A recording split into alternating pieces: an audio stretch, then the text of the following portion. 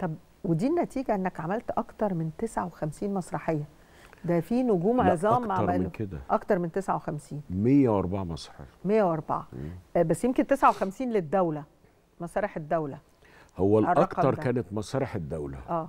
طيب أنت عارف إن في نجوم عظام أسماء كبيرة عملوا ثلاثة أربعة وفي ما عملوش خالص. آه. في ممثلين اتعينت. مم. ممثلين في مسرح الدولة.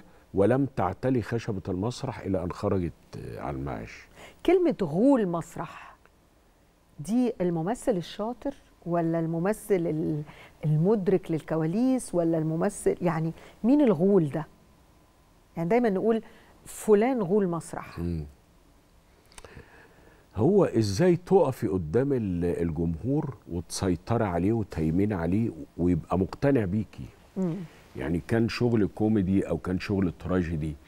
المهم إن هو ال- المتفرج ما يفلتش منك يبقى بيتفرج عليكي وعنده حالة شغف وبيجي يتفرج عارف إن سما غور مثلا في المسرحية دي. يعني كان في جيلنا كنا بنجري وراء أسماء كبيرة جدا في المسرح منهم مثلا آه، محمود ياسين منهم سميحة أيوب مم- طبعا. ممكن سناء جميل سهير الببلي ونجوم كتيرة آه، جدا بالظبط. نور الشريف. كنا دول كانوا غلان مسرح بحق حقيقي. وحقيقه طب الرقم اللي انت قلته لي 104 مسرحية انت اللي كنت بتروح ولا هم اللي كانوا بيجروا وراك؟ آه، اولا هم كانوا بيرشحوني. ثانيا أنا كنت شبه متفرغ للمسرح. مم. يعني أخلص مثلا مسلسل فيديو أجري على المسرح كأن انت كنت مسافرة وراجعة بيتي. آه ده بيتي. ده بيتي. آه.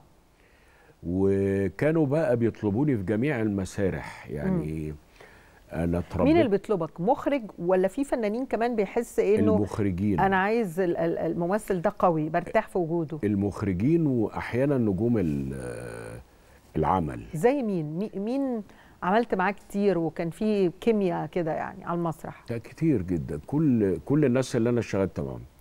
يعني في القطاع العام مثلا السيده سماحة أيوب. طبعا. سماحه أيوب يعني كانت تشوفني تقول لي ولا سامي. بص اوعى تخرج عن النص. شوف كلمة زيادة هتضحك ونضحك وتجيبني أيوه. وأخرج عن النص وتجيبني تاني. إفيهات وتجيبني. وكان في كيمياء رهيبة بيني و- وبينها. وأغلب نجوم ال- الستينات اشتغلت معاهم